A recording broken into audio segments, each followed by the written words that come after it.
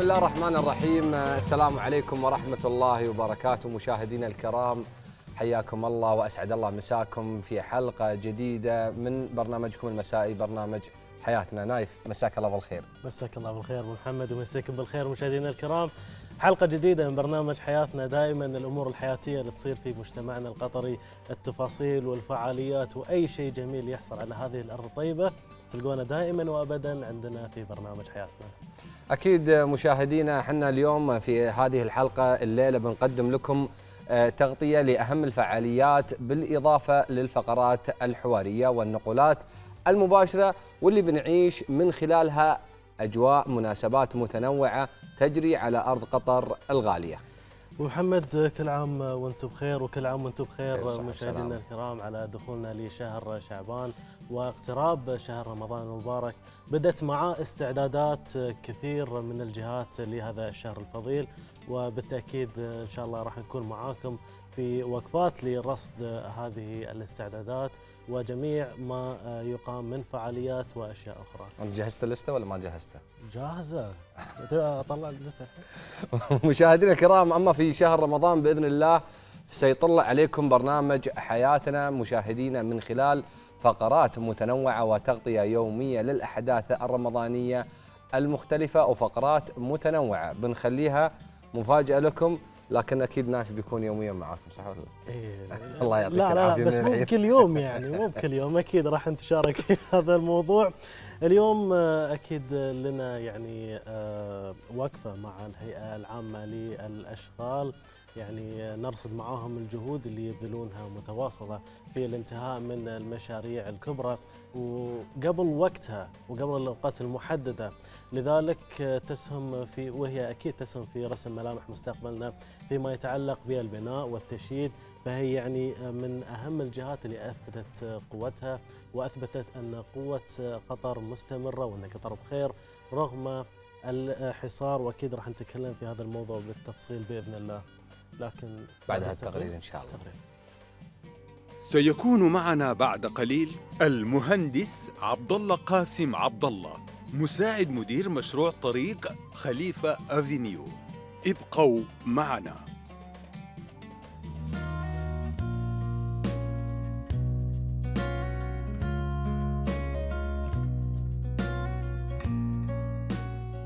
وصلت هيئة الأشغال العامة إلى السرعة القصوى في الإنجاز، حيث بدأت تظهر نتائج المشاريع، ففي كل شهر تفتح طرق وجسور ولم تعد تسمع غير لغة الرقم والفعل والإنجاز. فقد افتتحت أشغال منذ أيام جسر المشاة على الطريق الدائري الخامس الذي يقع بين التقاطع الثمامة وتقاطع شارع المطار. وكذلك افتتحت تقاطع بني هاجر متعدد المستويات والطريق المؤدي لشاطئ الفركية. أما بخصوص المشاريع المنجزة خارج مدينة الدوحة فالعمل هو نفسه وربما أكبر. فقد تمت مثلا ترسية أربعة عقود لتطوير البنية التحتية جنوبية لوكير وتبلغ قيمة العقود ملياراً وخمسمائة مليون ريال. وتشتمل تلك المشاريع أيضاً تجهيز ستين ألف قسيمة سكنية حتى عام 2024 كما سيتم في عام 2018 الانتهاء من تنفيذ 90% من المشاريع المرتبطة بمونديال 2022 وبالتوازي مع ذلك ستكون نسبة مساهمة الشركات المحلية في تلك المشاريع الكبرى في حدود 30% من قيمة العقود. وهو ما ينطبق على العقود الجديدة التي أعلنت عنها أشغال لإنجاز أربعة مشاريع جديدة هي اللاندمارك ومحور البستان ومسيمير والدائري الخامس. نفذت أشغال مشاريع قيمتها 21.8 مليار ريال و37 مشروعاً. البنية الأساسية وأعمال الطرق والمساحات الخضراء وقسائم الأراضي والوحدات السكنية.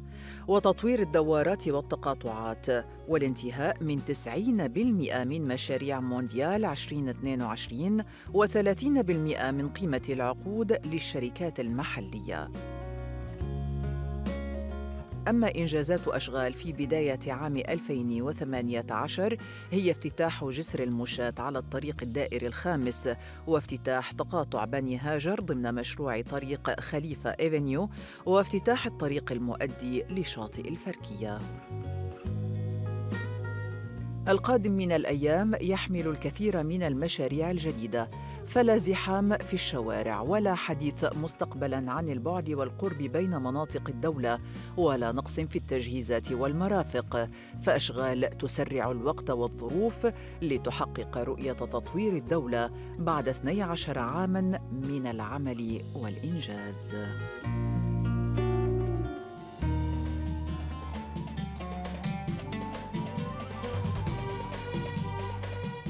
مشاهدينا الكرام تواصل هيئة الأشغال العامة أشغال تنفيذ المشاريع الحيوية في الدوحة ولا سيمن في قطاع الطرق الذي يشهد طفرة إنشائية ضخمة في مختلف المناطق والمدن. الأمر الذي يسهم في دعم جهود التنمية والتطوير بما يخدم اقتصادنا الوطني. تأكيد علي اليوم راح نسلط الضوء على أحد أهم المشاريع أو أهم الطرق اللي يستفيد منها قطاع عريض من المواطنين والمقيمين وهو طريق خليفة أفنيو اللي تم افتتاحه أو حيث تم افتتاح تقاطع بني هاجر ضمن أعمال المشروع اللي يوفر تدفق مروري حر بين الدوحة ودخان وبني هاجر والريان. نعم والحديث أكثر عن هذا الموضوع يسعدنا استضافة المهندس عبد الله قاسم عبد الله مساعد مدير مشروع طريق خليفة أفنيو حياك الله اليوم. معنا يا مهندس. يعني أنا توني اسولف معكم قبل شوي إني كنت في الطريق أبي أروح على طريق دخان قطر مول وكان في طريق أروح يمين بعدين أرجع ثاني مرة يوتير. إيه. فطلعت لي مع جسر ما أدري كيف طريقة إلا أنا وصلت طريق دخان. أول شيء يعطيكم العافية. الله يعافيك. جهد جميل جدا. المشروع جبار صراحة. نبغيك تحدثنا أكثر عن هذا المشروع عن آه، كيف انكم أنتم يعني في خلال الفترة الجاية بتفتحونه رسمي بشكل رسمي ونبي نعرف حتى القدرة الاستيعابية حق هذا الطريق. جميل. اولا آه، مشكورين على الاستضافة الجميله. آه، من أول كانت فكرة المشروع كلنا نذكر الدوار بني هاجر. صحيح. وأنه كان يسبب ازدحام كبير و جدا جدا جدا بشكل ملحوظ أيضا. فقامت هيئة أشغال عامة ب تطوير الدوار وتحويله إلى تقاطع متعددة المسارات يوفق تدفق مروري حر في جميع الاتجاهات وقادر على استيعاب 1500 مركبة في الساعة. 1500 مركبة في الساعة. 1500 مركبة فقط في تقاطع بني هاجر في الساعة. آه ونظرا لأن دوار بني هاجر كان يسبب الازدحام الكبير كانت هناك فكرة بإنشاء تقاطع آه يوفر تدفق مروري فهيئة الأشغال العامة قامت ودرست هالفكرة وطبقتها على أرض الواقع وحولت الدوار إلى تقاطع من ثلاث مستويات. من ثلاث مستويات يعني في عندك النفق العادي وفي فوق الجسر فوق والجسر. الله يعطيكم يبي لي لفة انت كنت رايح قطر مول شكلك. أنا والله كان عندي ضيف قبل كم يوم فاضطريت إني اودي. يستاهل أكيد. آه نتكلم عن المدة الزمنية إيش كثر خذ منكم وقت لما طبقتوا هذا المشروع وصار على أرض الواقع كامل مكتمل؟ آه، الفترة الزمنية اللي طبقت يعني إذا بنتكلم من فترة آه، التصميم حتى التنفيذ والانتهاء من أخذت تقريبا أكثر من ثلاث إلى أربع سنين ما شاء الله من ثلاث إلى أربع سنين أربع سنين التصميم والتنفيذ وكل حاجة ما شاء الله يعني صراحة التوقيت الزمني يعتبر في خلال الفترة هذه مع أن الشارع ما كان يعني ما زال حيوي وإنه يستقبل السيارات رايحه جاية وسويتوا الأعمال والسيارات موجودة. وفرنا للجميع آه، مسارات مؤقتة مرورية صحيح. حركة مرورية مؤقتة صحيح. عشان تسهل حركة السير في المنطقة. طيب أبغاك تكلمني عن مسارات تقاطع بني هاجر والمعايير اللي تم تطبيقها بعد يعني من انتهيتوا هذا المشروع. جميل. اولا مسارات آه، المشروع بتقاطع بني هاجر آه، فكان في السابق عبارة عن ثلاث مسارات فصارت الحين أربع مسارات في الاتجاهين فقط على طريق خليفة فينيو آه، من الدوحة إلى إدخان والعكس. أربع رايح؟ أربع رايح وأربع راد نعم. على طريق خليفة افينيو الطريق الرئيسي. وبشكل عام إذا تكلمنا عن تقاطع بني هاجر فتقاطع بني هاجر يتكون من جسرين ونفقين ومخرجين التفافيين وهناك ثلاث مسارات آه، حرة في كل الاتجاهات. يعني هناك ثلاث مسارات. هناك آه، تأخذ آه، حركة المرور من الدوحة إلى بني هاجر وأيضا من بني هاجر إلى إدخان عن طريق شارع شهامة. وأيضا يأخذ مسار من ريان إلى الدوحة ع- على طريق شاء الله. لما تحدث بشكل خاص عن نفق بني هاجر إي لو نعم. نتكلم عن البنية التحتية وكيفية تأسيسها يعني بخصوص آه، مياه الصرف الصحي بخصوص مياه الأمطار مهم. كيف تم تنسيق هذه الأمور؟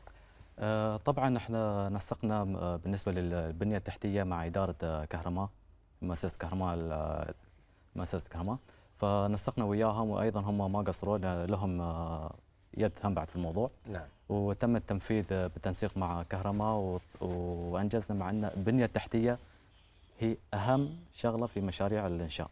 نعم. أهم يعني هي البنية التحتية اللي تأخذ حيز كبير من الوقت. فالحمد لله. وبالنسبة للمعايير اللي مشينا عليها آه، اولا بالنسبة للسلامة العامة. جميل. وحافظنا على أن مستخدمي الطريق آه، ما يعانون من أي مشكلة سواء كان من آه، عدد المسارات ولا من الالتفافات من ال- كل الجهات نعم. من الدخان والريان وبني هاجر والدوحة. وفرنا لهم بدائل وأيضا آه، من المعايير هم الجودة. ان نحافظ على الجودة العالية وان تكون على حسب المواصفات القطرية. طيب خلينا نتكلم الحين المشروع. كم إنجاز كم في المية الإنجاز ومتى الافتتاح الرسمي؟ آه الحمد لله تم إنجاز 68% من المشروع. من طريق خليفة أفينيو اللي يعتبر من آه، غرب آه، تقاطع ماي لحتى آه، تقاطع الوجبة وإن شاء الله بينتهي بشكل كامل بيفتح أمام المرور في نهاية هالسنه إن شاء الله. في نهاية السنة إن شاء الله. بيكون الافتتاح الرسمي بالنسبة للشارع الغرافة اللي هو من شمال لجنوب الغرافة. فإن شاء الله بيكون مفتوح أمام المرور مع نهاية السنة الجاية 2019. نهاية السنة القادمة إن شاء الله الله. 2019 نعم الفترة الأخيرة يعني في دوارات وايد انشالت وأكثر من مرة صار في تقاطعات وأنتم قمتوا تركزون على الجسور والأمور هذه. أهمية التنفيذ خاصة يعني مثلا المثال اللي كنا نتكلم عنه بالنسبة لبني هاجر آه، التنفيذ هذا يعني هل راح يخفف من الزحمة والناس راح يعني يرتاحون من هذه الأمور؟ يعني أنا مرات ما لقى لي مخرج اضطر والله أروح أنا مثلا مكان بعيد ولا شيء بجي صوب عالي صوب معيذر ولا. آسف يعني لا إنه يعني اضطر يعني أنت تبغى تجيس لين بيتنا يعني يوصلك ما يصير يا أخي يا أخي أحبك يا أخي فأهمية الأمور هذه التقاطعات والجسور اللي يتم بنائها في إنه يعني تفك أزمة حركة المرور جميل. آه بالنسبة للدوار فكلنا الدوار دائما على سطح مستوى الأرض. نعم فالفكرة من وجود أنفاق ولا جسور في التقاطع عشان يسهل حركة السير والمرور بشكل مباشر من غير أي توقف.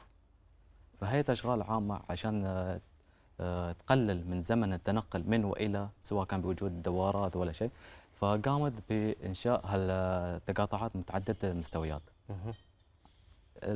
لسببين اولا آه، تقليل من زمن التنقل من وإلى وأيضا تحسين حركة السير في الم- في المناطق المجاورة. طيب الآن بالنسبة للمشروع هذا اللي يعتبر شبه متكامل هل بيكون يعني متزامن أو منسجم الطريق هذا مع الطرق اللي بتؤدي إلى الدوحة أو إلى غرب قطر في جسور ثانية بنفس المستويات؟ آم، سواء كان هالمشروع ولا أي مشروع في الدولة كلها مرتبطة مع بعض. زين. وطبعا هالمشروع مش مو بس هالتقاطع الوحيد اللي عبارة عن متعدد مستويات هناك تقاطعات سبع تقاطعات في المشروع صحيح. بشكل عام. كلهم متعدد المستويات. وإن شاء الله مع آه، مثل ما قلت لك نهاية السنة الجاية بنشوف هناك تطور كبير في المنطقة. طيب يعني الحين مثلا إحنا نتكلم عن المسارات الكبيرة اللي أنتم فتحتوها مع التقاطعات والمستويات هذه كلها كاملة، بيكون في عدد كبير من السيارات، مثلا إذا كانت راح تتجه دوحه خاصة في توقيت الذروة وجات من عند الإشارات الموجودة عند قطر فونديشن أو مؤسسة قطر. هل الشارع هذا الآن أنت قاعد في عندك النظرة القادمة إن الشوارع ال- ال- اللي بتكون قدامك تستقبل الأعداد المهولة هذه بإنسيابية بدون أي تعقيدات؟ جميل إحنا الله يسلمك هيئة أشغال عامة بشكل عام يوم آه، تبني أو تنشأ أي تقاطع أو أي شارع تدرس ل 20 30 سنة لقدام أها يعني في خطة يعني أما- الخطة ل 30 20 سنة سلام. لقدام جميل. وتدرس انه إيش قد تحمل ل 20 30 سنة مه. فعندنا خطة مستقبلية مهندس عبد الله آه، في يعني بعض المشاريع أو أو غالبا يعني المشاريع دائما يتم دراستها بعناية ولكن آه، مثلا كمثال آه، شارع 22 فبراير من سوق العلي وأنا متجه صوب الغرافة الطريق يكون ماشي بانسيابية ولكن ممكن تتسبب الزحمة لأن الناس كلهم يتجهون لمخرج واحد وأنتم كأشغال تلاحظون إن في ضغط على هذا المخرج، هل يكون ضمن الخطط انه مستقبلا إذا لقيتوا لا في ضغط على هذه المنطقة انه يصير توسعة أو حلول أخرى ممكن توجدونها؟ آه، بالنسبة من آه، تقاطع الجوازات قلت لي؟ سوق العلي الجوازات سوق العلي للغرافة. آه، سبب الزحمة إن هناك في مشاريع حال آه، حاليا هناك مشاريع قاعدة تنجز. فإحنا نقلنا حركة السير بن- إلى آه، حركة مرورية مؤقتة. فهذا ممكن أحد أسباب الزحمة الحالية. زين فمجرد آه، ننتهي من إنجاز المشاريع الدائمه بتشوف الحركة آه، السير بتكون بشكل آه، انسيابي. نعم. فبس أطلب منا شوية صبر كذا مع الوقت إن شاء الله بتشوفون إحنا دائما والله نقول حق الشباب دائما مرات اللي يعني يعطيهم الصحة والعافية آه، في المراجعات اليومية ويقول لك يا أخي إحنا قاعدين نواجه زحمة وكذا. إحنا قاعدين نبني دولة حديثة فشيء طبيعي إن تكدس السيارات والازدحام يكون في بعض المناطق اللي فيها آه، الأشغال أو فيها الوزارات أو فيها بعض الأماكن اللي يتجمعون فيها الأهالي. لكن اللي بيصبر بينتظر إن شاء الله دولة جميلة دولة حديثة. عسى الله يدوم علينا هالامن والأمان والعز اللي إن شاء الله وحنا في تقدم الحمد لله. إحنا. نتكلم عن بناء بنية تحتية قوية متينة وأكيد يعني تساعد في كل الأمور. ال- الجسر اللي يربط بين مدينة خليفة لين الغرافة تم افتتاحه؟ آه، يربط ما بين مدينة خليفة. اللي هو في نفس المكان صوب سوق العلي خبرك أنا يعني رايح جاي صوب المكان. قصدك آه، جسر الاتحاد يمكن. تقريبا أعتقد اسمه. من مدينة خليفة إلى الغرافة. أي نعم. إيه. أتوقع أتوقع أن هذا الحين يعني تقريبا نفس الطريقة في نصف الأعمال. أنا يعني قد شفت الحين نعم. مسوين طرق بديلة له. يعني في في أمور تنجز. لو لو تحدثنا عن أقرب الإنجازات اللي ممكن تصير إن شاء الله. آه، الإنجازات القريبة إن شاء الله بنشوف هناك آه، تطور كبير بالنسبة لتقاطع Landmark. هم بعد آه، تقاطع Landmark يعتبر من متعدد المستويات فلو تلاحظ حاليا هناك آه، في إغلاقات مرورية صحيح. صايرة. صحيح. و... وإن شاء الله مع آه، السنة الجاية بتشوفون فرق كبير و شكل المشروع بيكون كبير اللي عند ال Landmark ال Landmark جدا وبصراحة هذا من أحم آه، أحد آه، أهم التحديات. الله كريم إن شاء الله إنجاز مشروع في وسط حركة السير. نعم. شيء صعب. الله. يعطيكم العافية ويقويكم. ويعينكم. علينا علينا إحنا كنتذمر كل شوي. المهندس عبد الله كلمه اخيره تقول للمشاهدين آه، نقول لهم آه، مشكورين على التحمل والصبر. انكم صبرتوا ويانا خاصة هالبني هاجر والريان. نعم. صبروا ويانا وتحملونا كل هالسنين. والحمد لله في النهاية نقول إن إحنا هدفنا تطوير الدولة. نعم. كنا نسعى إلى تقديم خدمة أفضل نعم. للدولة ولمستخدمين الطريق. وبشكل آمن آه، حتى يصلون بيوتهم وهم سالمين إن شاء. الله بإذن الله. المهندس عبد الله قاسم عبد الله مساعد مدير مشروع طريق خليفة أفنيو. شكرا جزيلا لك. نعم، حياك إذا مشاهدينا ننتقل معاكم إلى زميل إبراهيم الرميحي من مهرجان سنيار. إبراهيم مساك الله بالخير والكلمة عندك. مسك بالنور. كل الشكر لك آه، الزميل آه، نايف المسلماني والزميل آه، علي المري. طبعا مستمرين معاكم في تغطيتنا المباشرة لبطولة السنيار في نسختها السابعة. آه، إحنا اليوم متواجدين في آه، في سيف كتارة المحامل كلها متجهزة طبعا لخوض بطولة أو مسابقة اللفاح اللي راح تكون دشتها إن شاء الله الساعة 4 الفجر من يوم الخميس باتجاه آه، جزيرة حالول. آه، حاليا أنا متواجد في محمل فريق القصار الفريق الحاصل على المركز الثاني في بطولة الحداق ويسعدني ويشرفني إني أستضيف معاي السيد إبراهيم الشيب وهو ناخذه فريق آه، القصار. مساك الله بالخير أخوي أبو محمد. آه، شفناكم على في الحداق على المنصة في المركز الثاني. شلون راح نشوفكم في الحداق في اللفاح إن شاء الله؟ يا هلا ويا مرحبا بك أخوي وإن شاء الله بتشوفونا نبيض الوجه إن شاء الله ونشرف المنصه بوجودنا عليها إن شاء الله ومتحمسين الشباب من ساعة ما طلعت النتيجة في المركز الثاني بالحداق والشباب كلهم متذهبين وشادين حيلهم وشادين أمورهم إلى حد الآن. اليوم أنا أقول لهم تعالوا وبعد صلاة المغرب هم جايين من صلاة الظهر موجودين في نقول لله الحمد. الحمد لله. تجهيزاتنا من أول أمس أو من أول ما سمعنا. اخذنا يوم راحة واليوم الثاني مبلشين مع اللنج بخيوط ودريات وشغلات اللي مثل هذه ومجهزينها إن شاء الله. إن شاء الله انها تكون عندنا بأكمل وجه. الله يعطيكم العافية إن شاء الله وفالكم المركز الأول. لكن آه، إبراهيم أنت ريال راعي بحر. وتدري أن هالأيام هواء وضربات هواء يعني.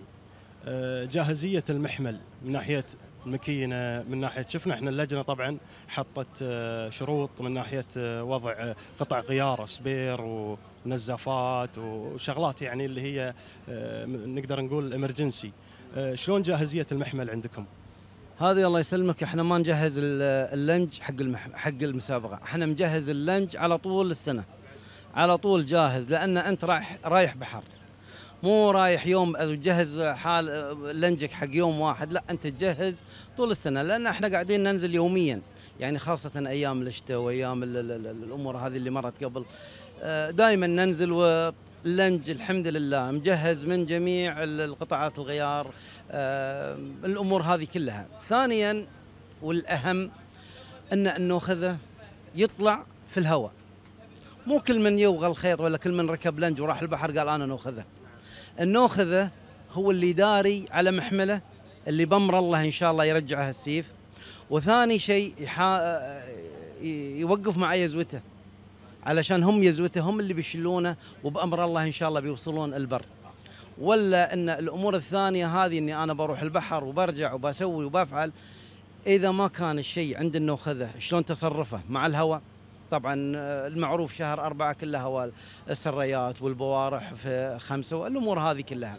فإذا ما كان النوخذة النوخذة صح فأنا اسمح لي أقول لك لا ينزل البحر. لا ينزل البحر ولا يتحدى. أي نعم. آه، طبعا هذه جاهزية المحمل وجاهزية النوخذة. بالنسبة لجاهزية اللفاح يعني خيوط نقدر نقول آه، تعاريض آه، قفاش دريات شلون نظامكم؟ هل راح تركزون على الدريات على القفاش؟ والله هذه إحنا يعتمد على أول يوم. أول يوم راح ننزل اللي ب- استطاعتنا إن إحنا ننزل ثلاث أربع خمس دريات ننزل. وكل واحدة تختلف عن الثانية. واللي نشوفها أسهل معانا وتجيب لنا اسمتها فبنستمر عليها وبنكثر منها.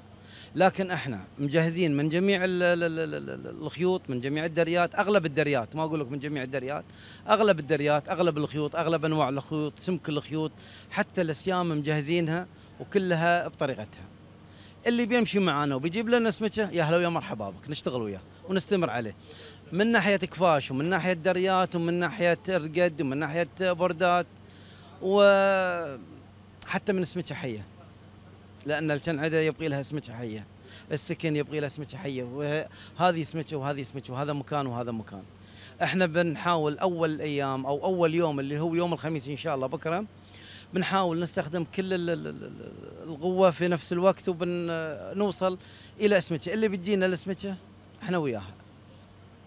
ابو محمد سمكه ابو كلين سمكه آه، الدوحة غير سمكه حالول. شلون تجهيزكم للشغله ذي؟ سمكة الدوحة رق وسمكة غز... حلول يبغي لها شوي غزار. نزل درياتك وبريات وبورداتك تحت والقفاش نزلها تحت. والحين يعني في بعض السمكة وبعض الشنعات غل حبلة وبعضها ما غل. اللي ما غل طبعا يبغي له مكان ويبغي له مكان في البحر وسمكة حية. يعني يكون مرتفع يا تكون نازلة. والوقت وأغلب الاسمكة والاسمكة العودة تكون تحت وبين المايتين. فإذا يعني أنت بتعتمد على شيء فوق أو بتعتمد على شيء تحت أنت غلطان. لازم تنزل تحت تنزل بين المايتين في النص وتع... وفوق طفاحي. كل الشكر لك أخوي أبو محمد إبراهيم الشيب. نأخذ فريق القصار وفالكم إن شاء الله المركز الأول في مسابقة اللفاح. كل الشكر لك. أعزائي المشاهدين نوه أن الدشه راح تكون يوم الخميس الساعة 4 الفجر. وبالتوفيق لكل الفرق وأهم شيء السلامة. هذا كان كل ما لدينا اليوم عودة للشباب في الاستديو. يعطيك العافية زميل إبراهيم الرميحي أنت ضيفك الكريم وإن شاء الله موفقين جميع المشاركين في مهرجان سنيار ومهمة صعبة تنتظرهم وإن شاء الله موفقين فيها. نعم. مشاهدينا الكرام تحقق زيارة الطلاب إلى معسكر الخدمة العسكرية العديد من الأهداف. تفاصيل إحدى هذه الزيارات والأهداف التي حققتها نرصدها من خلال هذا التقرير التالي.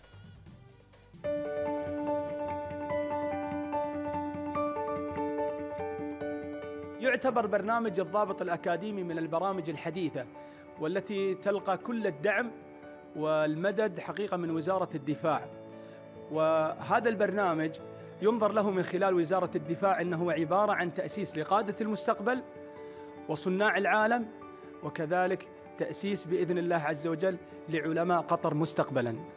هذا حقيقة موضوع اللي هو بالنسبة لبرنامج الضابط الأكاديمي لأننا في وزارة الدفاع ومن خلال أكاديمية الخدمة الوطنية نؤمن بقدرة وإمكانيات ومهارات الشباب القطري في التمكن والحصول على أرقى الشهادات الجامعية والدخول إلى أسوار الجامعات العالمية.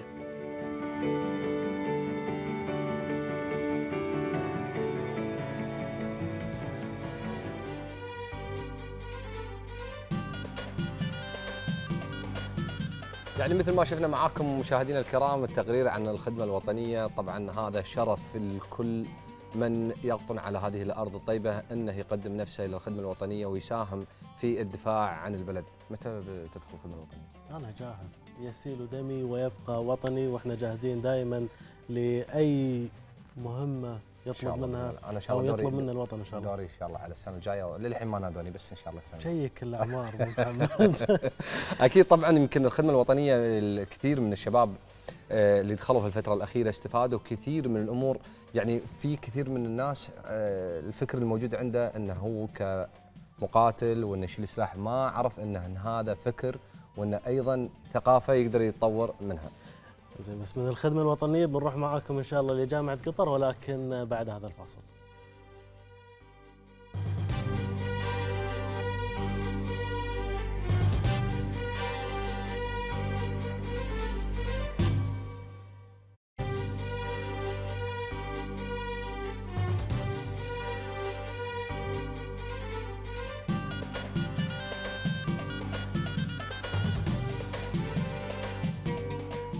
رجعنا لكم مشاهدينا الكرام بعد هذا الفاصل وأكيد آه، نايف عنده معلومات عن جامعة قطر. جامعة قطر. الحين بدأوا استقبال طلبات القبول والمنح الدراسية. مو بقى له شغل خلاص ناخذ تقرير إن شاء الله وبعد التقرير بنتكلم عن هذا الموضوع بإذن الله. سنستضيف بعد قليل السيد علي بو كمال أخصائي الإرشاد والتوجيه بجامعة قطر. ابقوا معنا.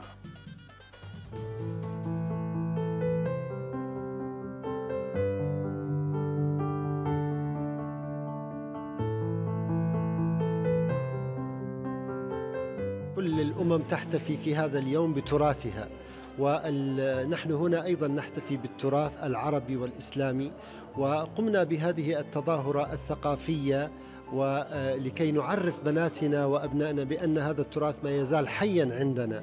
لقد أقمنا هذا المعرض المرافق للفعالية وكذلك قامت بناتنا في قسم اللغة العربية وبعض بنات الأقسام الأخرى في جامعة قطر بإعداد زاوية خاصة بهذا التراث القطري بحيث أننا نوصل رسالة إلى أن هذا التراث ما يزال حيا. أي حضارة عريقة تحافظ على تراثها من خلال ممارسة هذا التراث.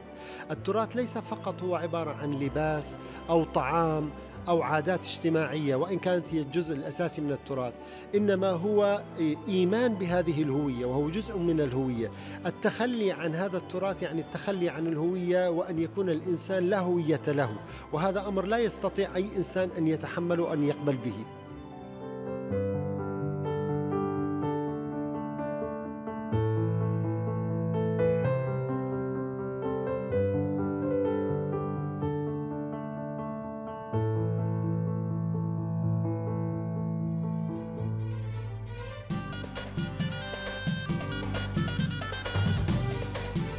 مشاهدينا الكرام في إطار جهودها المتواصلة في الارتقاء بالعملية التعليمية، تواصل جامعة قطر حاليا استقبال طلبات القبول بالكليات المختلفة، كما بدأت تلق تلقي طلبات التقديم للمنح الدراسية للطلبة المقيدين لخريف 2018. إن شاء الله بنتكلم أكثر عن هذا الموضوع. يسعدنا استضافة آه، السيد علي أبو كمال أخصائي الإرشاد والتوجيه في جامعة قطر مساك الله بالخير الله يمسيك بالنور وسعيد بتواجدي وإن شاء الله نقدر نفيد أولياء الأمور والطلبة بإذن الله. يعني صراحة أنا أول شيء يعني بشيد على طريقة الاستقبال في تقديم أنا كان في صديق كويتي جاني خلال الأيام اللي طافت وسجل في جامعة قطر فكان السؤال الأول له ليش جامعة قطر؟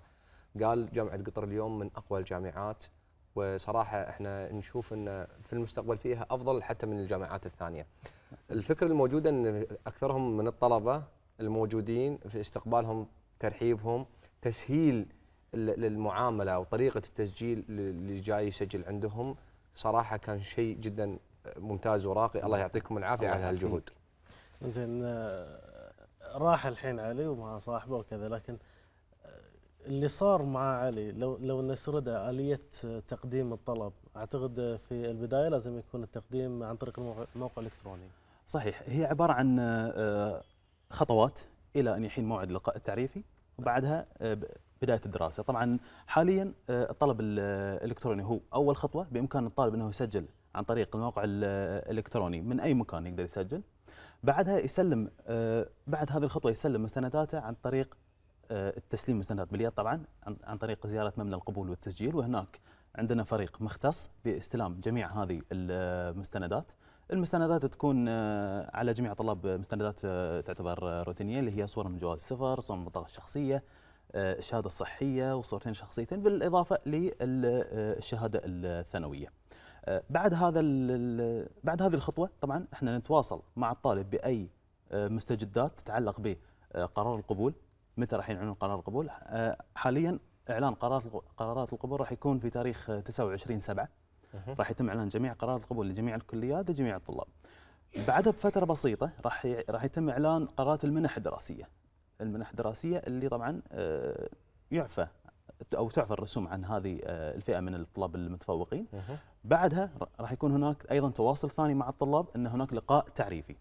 اللقاء التعريفي راح يقام من تاريخ 12 8 إلى 16 8 أسبوع قبل آه، إجازة عيد الأضحى. وبعدها 26 8 طبعا بداية الدراسة. بداية الدراسة. نعم. طيب خلينا نتكلم عن بعد يعني انتهاء الفترة المقررة للاستقبال. يعني كيف يتم العلاج التسجيل عندكم اللي مثلا يبي يطلب له مواد والأمور هذه كلها؟ شلون يتم؟ آه، طبعا هذه كلها تتم في خلال اللقاء التعريفي. في خلال اللقاء التعريفي أيوة. اللي هو قبل آه، قبل الدراسة. قبل اللي هو إجازة العيد اللي أنت تكلمت عنها. صحيح. في هذا كله كامل يعلم الطالب من وإلى شنو لك واللي عليك وكيف طريقة التسجيل والآلية والأمور هذه كلها بالضبط. جميع جميع ما ذكرت. آه، اللقاء التعريفي هو مكمل لقرار القبول. الطالب أول ما ياخذ القبول من الجامعة هو لحد الآن ما سجل مواده ما عنده جدول فما يعتبر طالب مقيد حاليا بالجامعة فاللقاء التعريفي يعتبر فعالية جدا مهمة ان الطالب يحضرها. راح يتعرف على آه، قوانين الجامعة آه، سياسات الجامعة راح يتعرف على الحرم الجامعي. هناك جولة إحنا نسويها لجميع الطلاب الجدد. نعرفهم على جميع المباني بالجامعة والإدارات اللي داخل هذه المباني. آه، وأيضا راح يتعرفون هناك معرض للخدمات. يتعرفون على جميع الخدمات اللي متوفرة في الجامعة ويتكلمون للموظفين عن هذه الخدمات للطلاب. وأيضا هناك آه، اللي هي آه، تسجيل المقررات. تسجيل المقررات الطالب راح يتعرف على المرشد الأكاديمي اللي راح يرافقه طوال سنوات الدراسة. راح يسجلون جميع المقررات للفصل الأول راح يتم عرض الخطة الدراسية وتكون عند الطالب فكرة تامة عن الجدول الدراسي اللي راح يبتدي فيه في أول يوم دراسة. جميل. لو نتحدث عن التخصصات نفسها يعني ممكن يكون طالب عنده نسبة محددة وأنتم محددين نسبة معينة كيف تكون الآلية لو هو مثلا مسجل في كلية الإدارة والاقتصاد؟ لكن اللي أعرف أن أنتم تحطون خيارات أخرى تعطونا إذا مو غلطان أربع خيارات أنه يختار إدارة واقتصاد أو مثلا أي أي تخصص ثاني وعلى أساس أنه يعرض على الكليات ويتم قبوله أو من عدمه بالنسبة للكليات. فلو تحدد لنا أمور النسب يعني آه، بالنسبة للأدبي والعلمي آه، بالنسبة للمدارس هل تم تغيير النسب بالنسبة للكليات في جامعة قطر؟ آه، طبعا بالنسبة للاختيارات إحنا نعطي الطالب هناك صح أربع اختيارات بالإضافة إلى الرغبة الرئيسية. فمجموع خمس رغبات. الخمس رغبات هذه الطالب راح يقدم بهذه الخمسة. آه، اللي حدد أو المعيار الأول انه يتم تحديد الطالب على هذه الكلية اللي هو طبعا النسبة النسبة الثانوية. صحيح. النهائية. إذا الطالب ما حالف الحظ في الرغبة الرئيسية راح يشوفون الرغبة الأولى. إذا لا راح يشوفون الرغبة الثانية إلى آخره في الرغبة أو الرغبة الاختيارية الرابعة. آه، النسب 70% آه، كأدنى نسبة بحيث إن الطالب يقدر يقدم مستنداته عندنا بالجامعة. جميل. القبول بالجامعة معياره الأول والأخير اللي هو التنافس حسب عدد المقاعد الدراسية. إحنا في الجامعة نطمح إن إحنا ناخذ آه، أعلى النسب وأكثر الطلاب آه، كفاءة في الكليات. لكن أقل أقل من 70% ممكن يدخل أعتقد عن طريق آه، برنامج آه، اللي هو التأسيس؟ هناك بإمكان الطالب انه هو هناك اختبارات معيارية إذا الطالب نسبته أقل من السبعين يقدر يوفر لنا اختبار ال ACT في الرياضيات إذا راح يدخل كلية أدبية. وإذا حب انه يدخل كلية علمية فلازم يوفر لنا شهادة في الرياضيات وشهادة في الإنجليزي اللي هي ال IELTS بعدها ينظر في طلبه والقرار الأول والأخير رجع لعميد الكلية وحسب نعم. القدرة الاستيعابية في الكلية. حدثنا عن المنحة الدراسية. آه، المنح الدراسية هي آه، منحة آه، تعفي الطالب عن آه، الرسوم الدراسية. إحنا كلنا عارفين هو آه، الطالب القطري وطلاب أبناء القطريات وأصحاب الوثيقة القطرية. هذه الفئة كلها معفية من الرسوم في آه، جامعة قطر. أول ما يصدر لهم قرار القبول. آه، بالنسبة لجميع الجنسيات الأخرى هناك منح دراسية توفرها الجامعة. بحيث أن إذا كنت متفوق في دراستك الثانوية فهناك أيضا منحة تقدم لك من الجامعة آه، يتم إعفائك من الرسوم الدراسية ورسوم الكتب الدراسية. أيضا هذه المنح تنافسية. هناك عدد معين يأخذون الطلبة الأعلى حسب صحيح. عدد مقاعد المنح واللي يتم إعلان قرارها بعد إعلان قرارات القبول. نعم. اذا آه، لين 31 5 إن شاء الله المجال متاح بالنسبة للي يحب إنه يلتحق في برنامج البكالوريوس في جامعة قطر والله يوفقكم إن شاء الله طلبة الثانوية ولكن ركزوا على النسبة سواء كنت أدبي ولا علمي علشان تعرف تكمل طموحك إن شاء الله في المجال التعليمي. آه، بالنسبة لي ال- ال- ال- ال- ال- ال- اللقاء التعريفي هل هذا إجباري على الطلاب أم آه، اختياري؟ آه، اللقاء التعريفي إجباري الناس ما ذكرت لك هو مكمل لقرار القبول. قرار القبول يعتبر خطوة مبدئية أن الكلية اقبلت هذه الطالب لكن الخطوة القادمة على الطالب انه هو يجي الجامعة ويسجل موادة ويعتبر بعدها طالب مقيد بالجامعة فهو جدا مهم. لو ما حضر؟ آه، لو ما حضر هناك لجنة مختصة. إحنا نستقبل جميع الطلبات والأعذار إذا الطالب ما قدر يحضر اللقاء التعريفي هناك لجنة مختصة تدرس هذه الأعذار وبعدين نتواصل إحنا مع الطالب ونخبره بقرار والله اللجنه متسامحين يعطيهم العافية. متسامحين. إي نعم. والله. شو تقول للطلبة اللي إن شاء الله بيمتحنون الأيام الجاية يخلصون الثانوية العامة؟ دائما الطلبة يسألوني شنو التخصص الهين؟ شنو التخصص اللي آه، ما راح يشكل لي آه، صعوبات كبيرة؟ دائما أكلمهم بشكل ودي إن الط- الطالب الثانوية عنده شغلة مهمة اللي هي الوقت. آه، استثمر وقتك قد ما تقدر بحيث إنك تعرف رغباتك وتعرف إمكانياتك وشلون تقدر تستغلها في التخصصات. ما في تخصص سهل وما في تخصص صعب. آه، إذا أنت عندك كل الرغبة إنك تدرس هذه آه، أو تدرس هذا التخصص راح تتسهل معك جميع الطرق. اذا موفقين إن شاء الله طلابنا وطالباتنا وموعدكم إن شاء الله في نهاية السنة. شدوا حيلكم في الثانوية العامة. تقدرون أعتقد من الحين تدخلون على موقع إلكتروني لجامعة قطر وتسجلون آه، بشكل مبدئي في الجامعة كطلاب مستجدين. وبعدها ترفقون مستنداتكم اللي هي الشهادة الثانوية والأمور الثانية. لكن حاليا خلكم من هالموضوع ركزوا في الثانوية وهاتوا الشهادة والله يوفقكم إن شاء الله. نعم السيد علي أبو كمال أخصائي الإرشاد والتوجيه بجامعة قطر شكرا جزيلا لك. العفو بالتوفيق للجميع. إذا نحن إن شاء الله مستمرين معاكم ولكن فقرتنا القادمة بتكون بعد هذا التقرير. سنستضيف بعد قليل السيد سلطان المريخي المدير التنفيذي للاتحاد القطري للسيارات والدراجات النارية ابقوا معنا. فوق رمالها كتب الشعراء وبين فضاء كثبانها يكمن الجمال والسحر. فكلما علا صوت ضجيج الحياة من حولك اقصدها. وارمي فوق رمالها الذهبية كل الهموم واستعد إنسانك الأول. فصحراء قطر مستعدة دائما للاستماع والاحتضان صراع سيكون على مزيج من الأسطح القاسية والكثبان الرملية بين نخبة من سائقي العالم على لقب رالي قطر الصحراوي ولمدة ستة أيام والذي يمثل الجولة الرابعة من منافسات بطولة كأس العالم للراليات الصحراوي لفئة السيارات والجولة الثانية لفئة الدراجات النارية.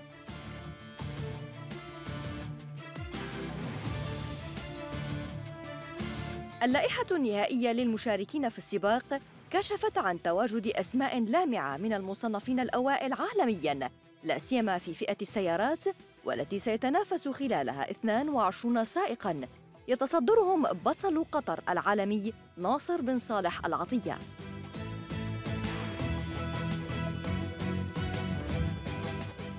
دعم رياضة السيارات وتحفيز الشباب على ممارسة هذه الرياضة وتطبيق رؤية قطر 2030 هي أهم الأهداف التي يسعى إليها القائمون على هذا الرالي في صحراء قطر.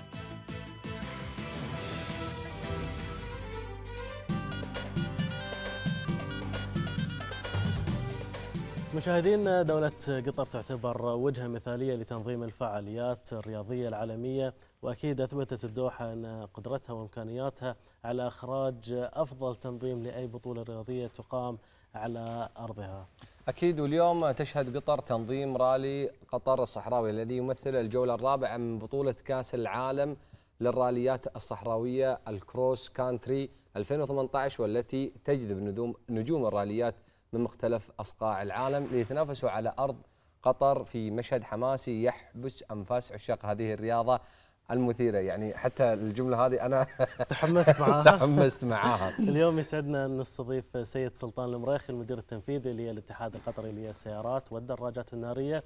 وراح نتكلم أكثر عن تنظيم لا رالي عفوا قطر الصحراء. مساك الله بالخير. مساكم الله بالخير يعطيكم العافية أخواني. الله يعافيك. يعني اليوم بنتكلم عن الاتحاد يدخل في تحدي جديد كل عام أو كل فترة من خلال تنظيم رالي قطر الدولي، يعني إحنا بنتكلم عن هالتنظيم الكبير والرائع.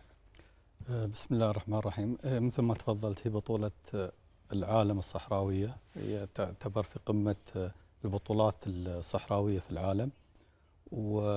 ونبتدي إحنا التنظيم ابتداء من انتهاء السباق على طول من 2000 ابتدينا من 2017 انتهاء جولة 2017 كانت في منتصف أبريل بعد. نبتدي نقيم الجولة ونقيم أنفسنا كذلك ونشوف ملاحظات وإيش سبل التطوير وتدارك أي آه، أمور قد حدثت في خلال السباق. نبتدي بوضع خطط آه، إعلام خطط تسويق خطة للشحن والدعم اللوجستي خطة للأمن والسلامة آه، تجديد التراخيص تهيئة المسعفين والمنقذين والمارشال والحكام آه، محتاجين لياسن ورخص. فهذه شكل دوري لأن إحنا من ثمان سنوات نعملها وهي الأمور آه، سهلة بالنسبة لنا لأن متعودين عليها وبطولة يعني بالنسبة لنا اعتيادية. إلا أن اللي استحدث أن في 2017 صارت الحصار الجائر اللي هو آه، أثر على الجيو الجيوسياسي الجغرافي السياسي نعم. آه، كان له أثر في موضوع الشحن خاصة بأن الجولة هذه الرابعة كانت الجولة الثالثة هي موجودة في أبو ظبي. فعملية الشحن والمدة اللي كانت بين جولة أبو ظبي وجولة قطر كانت لا تتعدى 13 آه، يوم عمل. فكان فيها تحدي واصرارهم بعدم النقل المباشر من أبو ظبي إلى الدوحة. كان هذا التحدي الأكبر اللي استجد أما باقي الأمور ما كان فيها أي حاجة. وبهذا التحدي إحنا تعاملنا معاه بجدية من البداية من أول ما آه، ابتدينا آه، فهمنا الوضع. ف نشكر والله الاتحاد العماني نادي عمان للسيارات نعم. اللي آه، خليناه منسق للمتسابقين اللي موجودين في أبو ظبي وابتكرنا وسائل للاستفاده من ال 13 يوم بدون أي تأخير على أساس إن إحنا نستقطب آه، أكثر عدد من المتسابقين ولا نخسر شيء منهم وسهلنا لهم كل الأمور هذه بما يخص التنظيم نعم سيد سلطان اليوم الاثنين كانت الانطلاقة الرسمية للرالي من أمام مسرح الروماني في الحي الثقافي كتارة. أه شلون شفت الحضور والتفاعل مع الجمهور بالنسبة للرالي؟ أه طبعا إحنا آه، اخترنا الموقع آه، في كتارة الحي الثقافي. نشكرهم في هذه المناسبة. على رأسهم سعادة الدكتور خالد بن إبراهيم السليطي نعم. واللي صراحة سهلوا لنا الموضوع وكان آه، نسقيم معاهم في كذا اجتماع على أساس إن إحنا نستفيد من الصرح الكبير اللي هو الحي الثقافي ونستفيد من آه، يعني آه، للعلم. يعني إحنا الوزارة الوحيدة في العالم اللي هي تربط بين الثقافة والرياضة وزارة الثقافة والرياضة واللي إحنا الاتحاد القطري تحت مظلتهم. فحبينا نجسد هذا في أبراز ثقافة الرياضة الميكانيكية لأن إحنا نؤمن بهذا الشيء. نؤمن بأن الرياضة جزء من الثقافة والثقافة جزء من الرياضه صحيح. فحبينا إن إحنا يكون الانطلاقة من الحي الثقافي لأن الحي الثقافي آه، اهدافه بأبراز الثقافة في في في أي مجال في مجال المعماري لو لاحظت في مجال الفن في مجال صحيح. آه، في مجال الأغذية حتى في المطاعم اللي موجودة في مجال الأنشطة مثل السنيار اللي موجود آه، اليوم. وصراحة أحييهم ويحسد يعني يحسدون عليه بأن أكثر من نشاط أمس كان في نفس اللحظة صحيح. وعمل آه، صراحة جو أجواء جدا أعجبوا فيها الأجانب وهي فرصة إن إحنا نعكس نعكس الثقافة نعكس ثقافتنا نعكس النهضة اللي إحنا موجودين فيها ولان في إعلام مرافق للفرق في أبطال عالميين نعم. الإعلام اللي اللي موجود معاهم نستفيد منه في وجوده في هذه الفترة على أساس إنه يعكس التطور اللي صاير واهتمامنا بالثقافة بالتوازي مع الرياضة. نعم. سيد سلطان يعني بادرتوا هالعام بتكوين شراكات جديدة مع شركات وجهات حكومية من أجل إظهار الرالي في أفضل صورة. نبغيك تكلمنا عن الشركاء والرعاة الرسميين للرالي العالمي هذا. أه، بالنسبة للجهات الحكومية يعني صراحة إحنا هذا السباق ضخم جدا. فتخيل أنت من أول قطر لين آخر قطر آه، السباق يبتدي لمدة خمسة أيام ورا بعض. أنت لازم آه، توفر بما يسعف أي متسابق يعمل حادث في متوسط لا يزيد عن 25 دقيقة. صحيح. فتخيل أنت في 300 كيلو إلى 370 كيلو في اليوم يقطعونها. على طول هذه 370 كيلو في ناس موجودة وفي حالة تأهب قصوى. منها سلاح الجو الأميري بالهليكوبتر الأميري. مسخرين لنا الهليكوبتر من ويشكرون على هذا. يعني واحدة في حلبة لوسيل تنطلق وواحدة موجودة في قاعدة العديد أو قاعدة السلية. ف أضف إلى ذلك بأن موضوع الشحن كان تحدي اللي مثل ما تفضلت وقلت لكم إياه اللي هو اللي من أبو ظبي إلى الدوحة كان آه، كان فيه تحدي ساعدنا فيه الجمارك ميناء حمد. جميل. إيه فكل الجهات كانت مسخرة لإنجاح هذه البطولة. لولاهم يعني ما كان إن إحنا نجحنا وطلعنا بهالافتتاح والتنظيم. سيد سلطان المريخ المدير التنفيذي للاتحاد القطري للسيارات والدراجات النارية موفقين إن شاء الله وأكيد أنتم أهل لهذه المنافسة والتنظيم. الرائع وإحنا وصلنا لختام حلقتنا لهذا اليوم نتمنى قدمنا لكم ما يفيدكم ويسعدكم وتحية مني ومن زميلي علي ومن طاقم العمل لجميع مشاهدينا من دولة قطر وحتى لطلابنا بالخارج وكذلك للي يتواجدون في العلاج إن شاء الله تردون بالسلامة. الله يحفظكم ونشوفكم بكرة على خير في أمان الله.